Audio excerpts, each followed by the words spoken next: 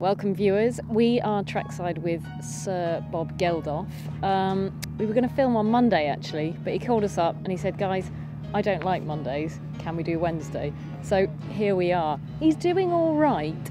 I feel Bob is known for his love of swearing, so I suspect in the car the language is probably a little bit blue. Come on.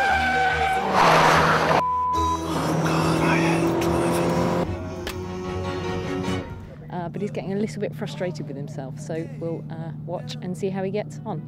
It is starting to rain just at the moment, so uh, it could affect his lap times. Let's see. Okay, in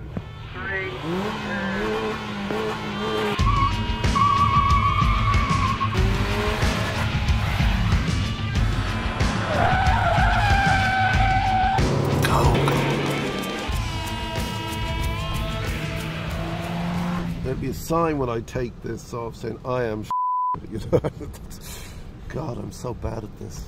So the Stig's taking you around for a few laps. Yeah, Is he and good uh, he's really good. It's embarrassing because um, you know I wanted to go faster and I can't, and then I'm trying to remember what he's told me, and uh, but it's it's good fun. That's the You main know thing. what? That's the main thing, as long as you're having fun. Yeah, it is. I mean, you really have to.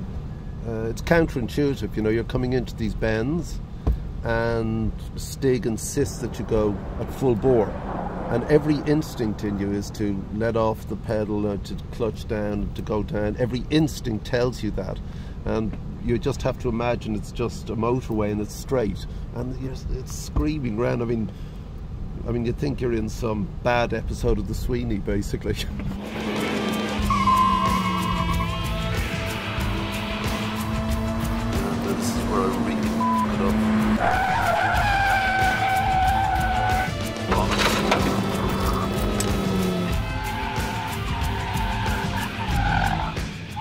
Up.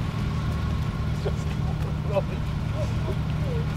That was absolutely pathetic. This was fun.